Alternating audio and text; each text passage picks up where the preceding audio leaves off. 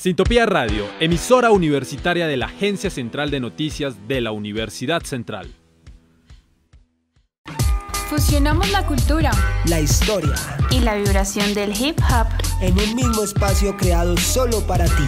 Somos, somos, somos Métricas Urbanas.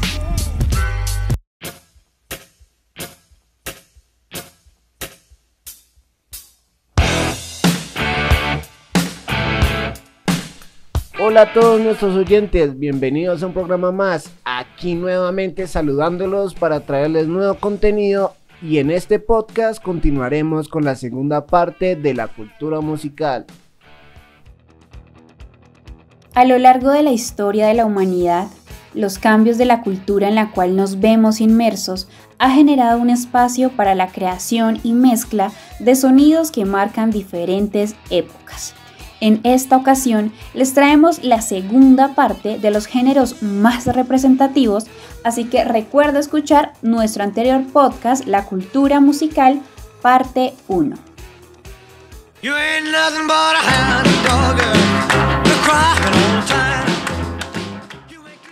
¿Cómo nace el rock and roll? Este icono general musical dio sus primeros pasos en el Reino Unido y en los Estados Unidos.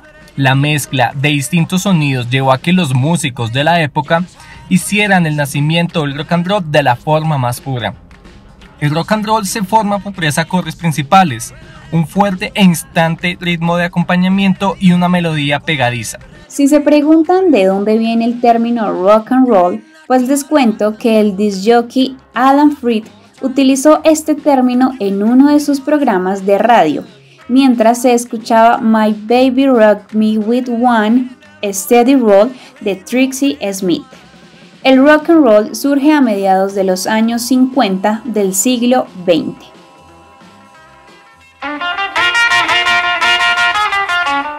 Con la evolución natural del rhythm and blues de raíces afroamericanas y el country, influenciado por géneros variados como el gospel, el jazz y el blues, Artistas como Chuck Berry, Bob Diddle, Jerry Lee Lewis, precursores de este sonido que comenzaba a dar de qué hablar en la escena musical norteamericana.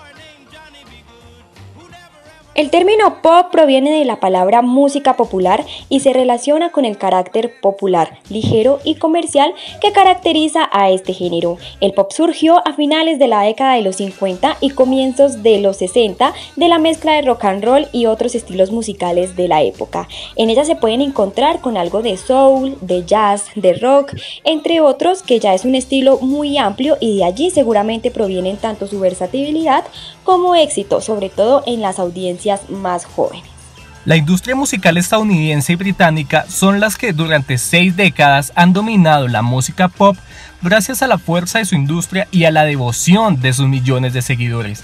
Pero también hay que destacar que cada país produce su propia música pop. Una gran mayoría coincide en afirmar que la música pop por comercial y efímera carece de buenos exponentes, no todos los artistas de este género producen música desechable, sino que muchos de ellos han creado grandes álbumes y han impactado no solo en el mundo de la música, sino también en nuestra historia contemporánea.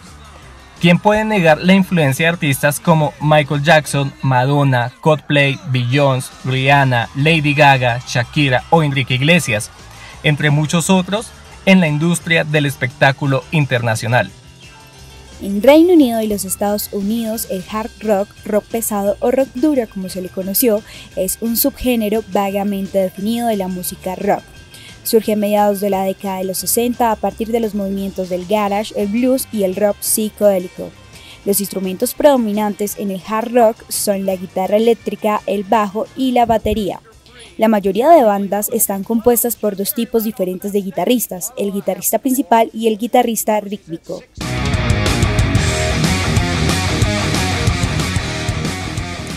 Este movimiento que nació allá por los años 70 fue el origen de las bandas como The Crash, Sex Pistols o Ramones, y además la base de otros estilos que surgieron a posteriori.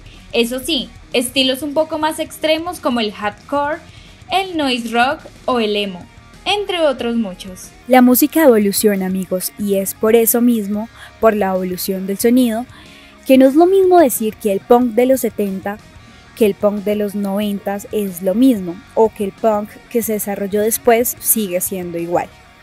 A través de este movimiento, bandas como The Ramones o Sex Pistols fueron los pioneros que a través de su música y sus canciones expresaron su descontento con la sociedad a la que consideraban represora y demasiado con hip hop. Este emblemático género musical causó revuelto y sigue evolucionando con la mezcla de beats que atraen público de todas las edades. Un movimiento cultural que combinan el DJ, el MC rap, el b-boying, el breaking y el arte visual o el graffiti.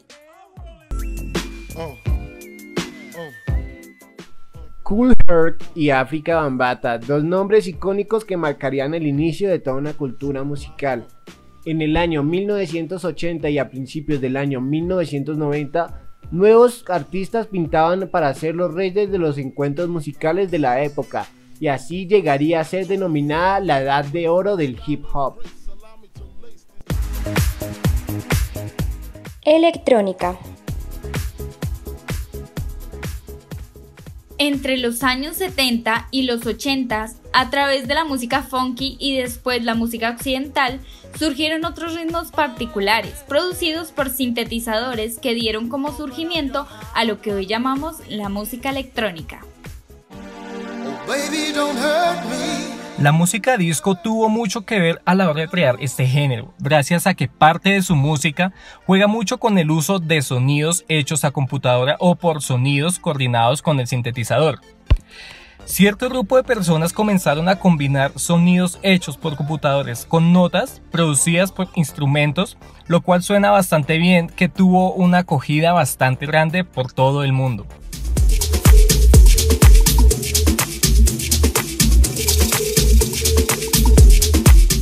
En la actualidad existen muchas variantes de la música electrónica, gracias a la versatilidad al momento de crear piezas musicales que cada vez son más innovadoras, subgéneros como el house, el groove, el techno, hard techno, minimal son algunas de las diferentes variantes que nos ofrece este género tan maravilloso.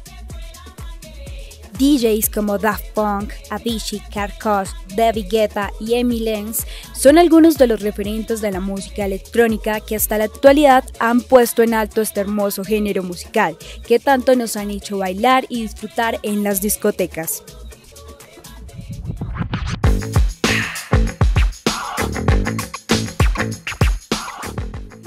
Y llegamos al final de este episodio. Recuerden que todos los lunes a las 3 pm estamos sacando nuevo contenido para mantenerlos informados sobre todo lo relacionado al arte urbano. Somos Métricas Urbanas, yo soy Sofía Rodríguez y les deseamos un feliz lunes y un feliz inicio de semana.